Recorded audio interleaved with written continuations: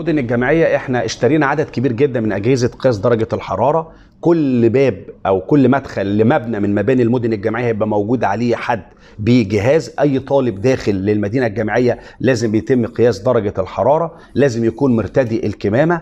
ممنوع إحنا في تعليمات بعتناها للمدن الجامعية ومعلنة في المدن الجامعية ومنشورة في داخل المدن الجامعية وكلفنا كل رئيس وحدة سكنية بأن هو يعمل لجنة داخلية داخل الوحدة غير اللجنة المركزية اللي أنا اتكلمت عليها بتاعت الجامعة كلفنا كل رئيس وحدة سكنية من خلال مدير عام المدن الجامعيه إن هو يعمل لجنة داخلية داخل كل مبنى. هذه اللجنة مسؤولة مسؤولية كاملة عن متابعة الإجراءات الاحترازية. ممنوع أي طالب يتجول داخل المدينة الجامعية بدون ارتداء ال- الكمامة. ممنوع التجمعات بين الطلاب في الغرف بتاعتهم آه، لأكثر من عدد معين. طبعا ال- التسكين بيبقى فردي أو زوجي. لو طالب قاعد هو زميله في أوضة واحدة مع الكمامة مفيش أي مشكلة. برضه إحنا مش عايزين إن إحنا نعمل نوع من التشديد أو المبالغه في الإجراءات المشددة إحنا بنحافظ على صحة الطالب وبالتالي ولكن في نفس الوقت إذا كان في إجراء معين هيتم زي النشاط مثلا داخل المدن الجامعية. إحنا لا نمنع النشاط داخل المدن الجامعية ولكن نمنع النشاط داخل الأماكن المغلقة داخل المدن الجامعية.